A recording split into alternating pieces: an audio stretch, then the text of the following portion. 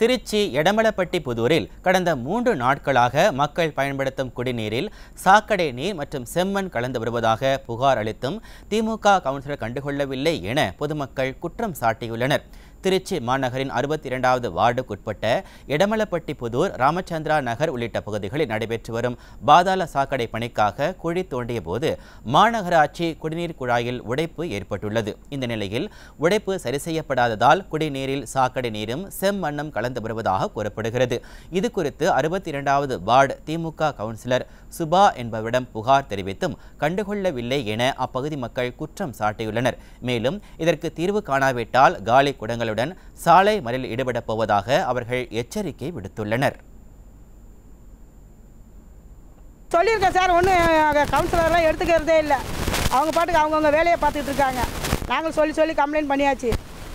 அதனால் எங்களுக்கு குடிக்க தண்ணி நல்ல தண்ணியாகவே வரல. ஒரே சாக்கடை தண்ணியாக தான் வருது. என்ன? அதனால் வந்து கொஞ்சம் நல்லா கவுன்சிலர் அம்மா வந்து பார்க்க சொல்லுங்கள் பார்க்க மாட்றாங்க. நாங்களும் போய் சொல்லி சொல்லி பார்த்துட்டு வரமாட்டாங்க